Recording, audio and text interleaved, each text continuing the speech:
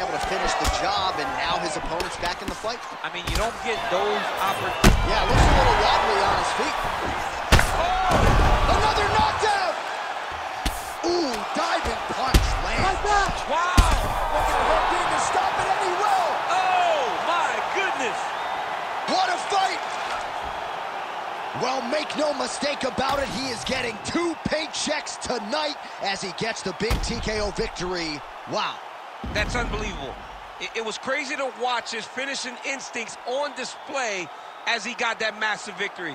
It was amazing, John. It was amazing.